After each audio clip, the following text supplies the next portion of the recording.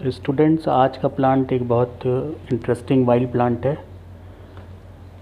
जैसा कि आप देख रहे हैं कि ये बहुत ही ज़्यादा कांटों भरा प्लांट है और इसको ये सारे के सारे ये कांटे हैं इसमें।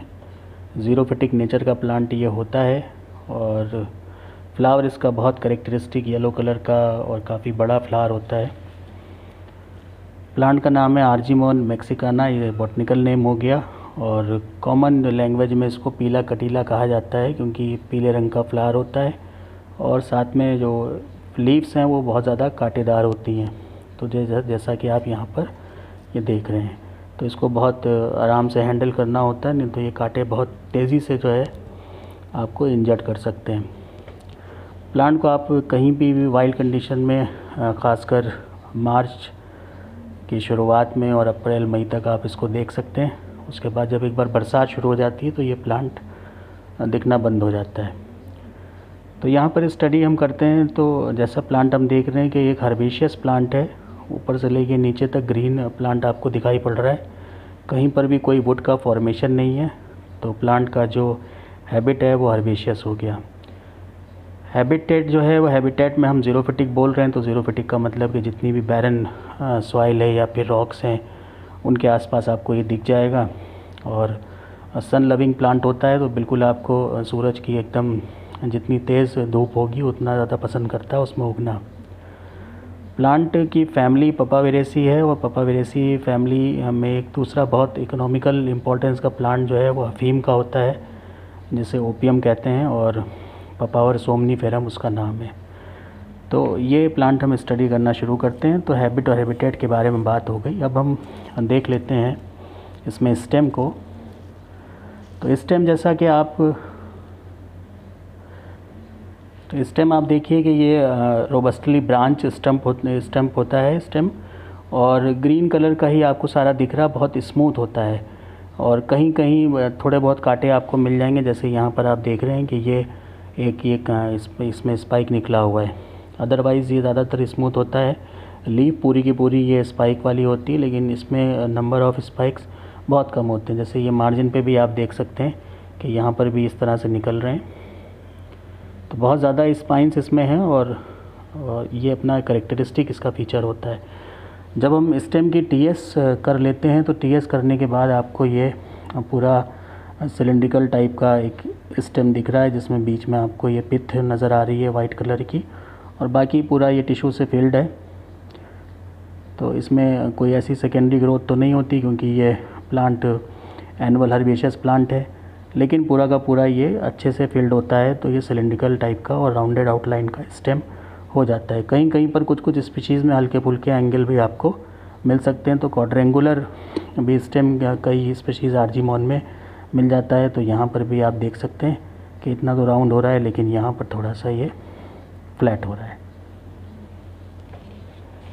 स्टेम के बाद हम देख लेते हैं लीफ के बारे में तो लीफ भी इसमें बहुत ही करेक्टरिस्टिक टाइप की होती है। यहाँ आप देखें कि एक तो ये बात है कि लीफ जहाँ से निकलती है तो इसमें कोई भी पिट्योल लाइक स्ट्रक्चर नहीं होता। तो इसमें ये बिना पिट्योल की लीफ है। और साथ में ये है कि जो लीफ कवर करती है, एक शीट बना लेती है जहाँ से ये निकल रही है, वहाँ से ये पीछे भी आती है। जैसे आप ये देख रहे हैं कि ये स्टेम को हम देख रहे हैं, यहाँ से इसका ओरिजिन है नोट से, और ये पीछे की तरफ़ भी आ रही है।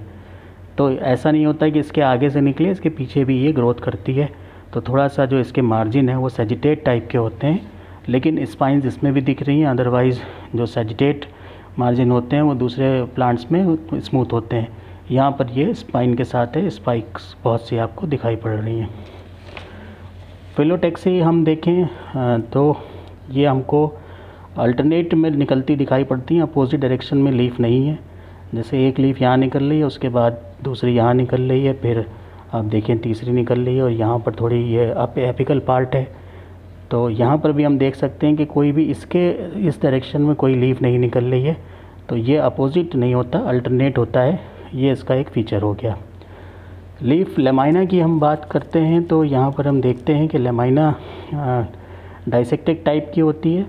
हालाँकि पूरी यहाँ तक आके जो इसकी मिड वेन है, वहाँ तक नहीं आता इसमें कोई भी डाइसेक्शन लेकिन डाइसेक्टेड होती है तो लगभग कंपाउंड सी लगती हुई लीफ होती है, लेकिन इसको हम एग्जैक्टली जो कंपाउंड की परिभाषा, उसके अंतर्गत नहीं ला सकते, क्योंकि जो इसमें इंसिजन्स हैं, वो इसकी मिड्रिप तक नहीं जाते।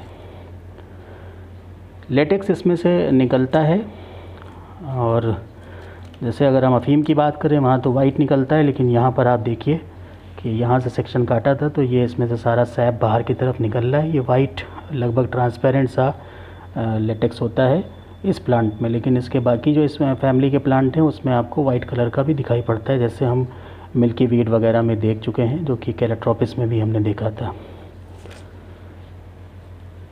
अब हम बात कर लेते हैं इसके इन्फ्लोरेसेंस की। तो इन्फ्लोरेसेंस हम देखें यहाँ पर ये सॉलिटरी एक्जिलरी होता है। इसको हम देख सकते हैं कि ये लीफ की एक्सिल से निकलता हुआ आपको ये, इसमें ये पटंकल दिख रहा है। इसमें भी स्पाइंस होते हैं तो कोई भी इसमें ऐसा स्ट्रक्चर नहीं है रूट के अलावा जहाँ पर स्पाइंस ना हो। और उसके बाद जब फ्लावर में अगर हम पेटल्स की बात करें तो उसमें स्पाइंस नहीं है, नहीं तो सब में स्पाइंस आपको दिखाई पड़ते हैं। तो ये आप देख लीजिए, बहुत लंबा सा इसमें ये पेडंकल है। उसके बाद सॉलिटरी एक्सिलरी इनफ्लोरेसेंस का बड़ा अच्छा एग्जांपल ये होता है। कोई भी अपना साथी इसका नहीं होता। फिर हम देखते हैं कि जो इसमें जो सेपल्स हैं, वो नंबर में दो या तीन होते हैं। यहाँ पर जैसे हमें दो दिखाई पड़ रहे हैं और ये भी लीफ की तरह ही लगभग जो है वो लीफ लाइक ही होते हैं। तो जो पेटलॉइड कंडीशन है लीफ की, वो यहाँ पर हमें मिल जाती है। ये भी स्पाइंस धारण करते हैं और थोड़ा सा आगे पीछे ग्रो करते हैं, जैसे आप ये देखिए। यहाँ पर एक जो है वो थोड़ा नीचे है और उसके बाद दूसरा वाला जो है वो उसके बाद में आ रहा है। तो यहाँ तक बात हो गई कैलेक्स की। अब बात करते हैं हम जो इसमें अगला वर्ग है, जिसको कि हम कैलेक्स कहेंगे तो यहाँ पर आप पेटल्स को देख रहे हैं। इसमें ये पूरी तरह से बाहर है, उसके बाद इसका एक ये मार्जिन अंदर है, एक बाहर है, उसके बाद ये पूरी तरह से अंदर है। और फिर एक अंदर बाहर इस तरह से ये चलता है। नंबर इसके देख लें तो one, two, three, four, five और सिक्स। तो यहाँ सिक्स हो गए। और ये सिक्स जो हैं वो काफ़ी रोबस्टली होते हैं और येलो कलर के करेक्टरिस्टिक फ्लावर होते हैं। उसके बाद अगर हम इसको वापस पलट के देखें तो यहाँ पर ये सपल वाली कंडीशन, जैसा मैं आपको बता रहा था, वो आप देख सकते हैं कि यहाँ पर सेपल सेपल लाइक ना हो के जैसे, लगभग लीफ के जैसा स्ट्रक्चर अपना बना लेता है। तो यहाँ पर कंडीशन यही होती है कि लीफ और सेपल में हम विभेद नहीं कर सकते। हालाँकि जो उसमें जब हम पेडंकल के ऊपर का देखते हैं तो उनको हम सेपल कह सकते हैं। और अगर इसके नीचे की बात है तो उसको लीव्स कहेंगे। तो ये ओरिएंटेशन इसका सेपल पेटल का हो गया। उसके बाद आपको यहाँ पर ये सारे के सारे एंडोशियम दिखाई पड़ रहे हैं। ये सारे न्यूमरस होते हैं इनफाइनाइट नंबर होता है। और ये पूरी तरह से इंसर्कल कर लेते हैं फीमेल पार्ट को और फीमेल पार्ट में भी इस तरह से ये आप कैपिटेट टाइप का इसमें स्टिग्मा देख रहे हैं जो कि आपको ये थोड़ा सा ब्राउनिश दिखाई पड़ रहा है और उसके नीचे इसमें स्टाइल कोई बहुत लंबा नहीं होता और उसके नीचे ये वाला पार्ट सारा का सारा जो है वो आप इसमें गानोशियम वाला देखते हैं। तो इनमें अगर हम बात करें किसी एक सेपल को लेके तो सेपल को अगर हम फोकस करते हैं तो उनको देख लें पेटल्स को फोकस करते हैं, उनको देख लें, उसके बाद हम एंड्रोशियम को देखते हैं। तो एंड्रोशियम को और हम थोड़ा इलाज करके देखेंगे तो हमें उसके फिलामेंट हैं और लोब्स हैं, वो नज़र आ जाती हैं। तो लोब्स आप देख लीजिए, इसमें ये काफ़ी रोबस टाइप का ये भी होता है और बहुत से इसमें होते हैं डाइथिकस है। तो दो थीका भी आपको दिख रहे हैं, एक आध जैसे इसमें आप देखिए, दो थीका आपको दिख रहे हैं। और ये अंदर की तरफ़ खुलते हैं इंट्रोस कंडीशन शो करते हैं और इनमें जो है सेल्फ पॉलिनेशन की प्रोसेस पाई जाती है। और यहाँ पर ये जो कंडीशन है, इसमें जो ओवरी है तो ओवरी में आप देखिए कि ये एक्स्ट्रा स्ट्रक्चर भी नज़र आते हैं। ये एरिल होता है, ऐसे ही लीची में भी मिलता है, ये एरिल होता है और ये जब इसमें फर्टिलाइजेशन हो जाता है फ्रूट बनता है, उसमें भी ये चीज़ें बाहर की तरफ़ आपको दिखाई पड़ती हैं।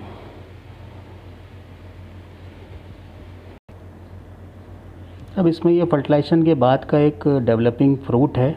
फ्रूट इसमें कैप्सूल फॉर्म होता है कैप्सूल लाइक होता है और बहुत से इसमें सीड्स पाए जाते हैं।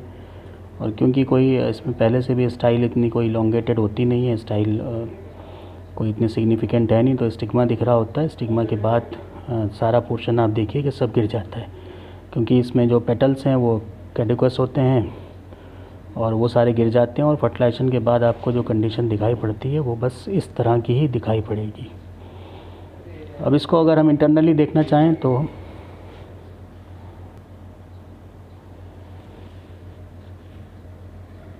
तो ये आप देख रहे हैं डेवलपिंग फ्रूट सारा कुछ इसके जो दो वर्ड थे, जो कैलेक्स और कोरोला थे, वो कैडिकस होते हैं, गिर जाते हैं फर्टिलाइजेशन के फ़ौर बाद। और अब जो बच रहा है, उसमें आपको स्टिगमेटिक जो हेड दिखाई पड़ रहा है, वो इसमें दिख रहा है। और बाकी ये डेवलप होती हुई ओवरी है। और इसका अगर हम बड़ा देखें तो किस तरह का फ्रूट बनता है तो आप देख लीजिए, ये काफ़ी बड़े बड़े ये फ्रूट्स होते हैं। हालाँकि हमने सहूलियत के लिए छोटा फ्रूट लिया, ताकि उसकी टीएस करके आपको दिखा सकेंगे किस तरह का इसमें ओरिएंटेशन होता है ओव्यूल्स का। तो अब इसकी हम टीएस कर लेते हैं। इसको भी बहुत सावधानी से ही काटना होगा क्योंकि इसमें भी स्पाइंस पाए जाते हैं।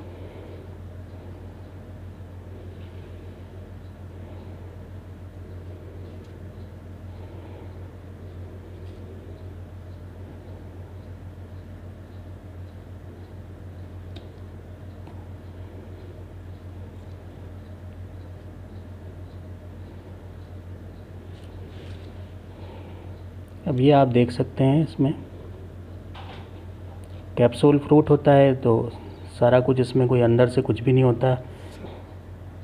तब क्योंकि ये कैप्सूल फॉर्म में है तो इसमें अंदर एक होलो कैविटी टाइप की होती है और उसके अंदर से ये सारे के सारे सीड्स भरे हुए हैं। और अभी क्योंकि ये आपको येलोइश दिखाई पड़ रहे हैं, बाद में ये मेचोरिटी पे ब्लैक हो जाते हैं। और लगभग जैसे सरसों के सीड होते हैं, वैसे ही ये सीड्स होते हैं और इसीलिए सरसों में इनको मिला दिया जाता है। अडल्ट्रेशन लोग करते हैं, जो बेमानी वगैरह का काम करते हैं कि तेल को इम्प्योर कर दें, क्योंकि ये बहुत सस्ते हैं, इनको बहुत आराम से मिल जाते हैं और सरसों को बहुत मेहनत करके उगाना पड़ता है। और ये सीड्स बहुत घातक भी होते हैं, क्योंकि इससे ड्रॉपसी नामक बीमारी भी होती है। तो यहाँ पर ये सारा जो इस प्लांट का जितना भी स्ट्रक्चर था, वो हमने आपको दिखा दिया सिवाय रूट्स के। और रूट्स इसमें जैसे कि कोई भी कॉमन प्लांट में जो हर्बेशियस प्लांट होते हैं, उसी तरह की होगी। टैप रूट होगी और उसके बाद उसमें ब्रांचिंग होती है। तो ये प्लान भी आप याद रखिए, इसको भी आप प्रैक्टिकल में अपना फ़ाइल में जोड़ लीजिएगा। किसी भी बुक में इसके बारे में डिस्क्रिप्शन आपको मिल जाएगा। प्रैक्टिकल का जो पार्ट था, वो मैंने आपको करके दिखा दिया कि आपको क्या क्या देखना है और क्या क्या करना है।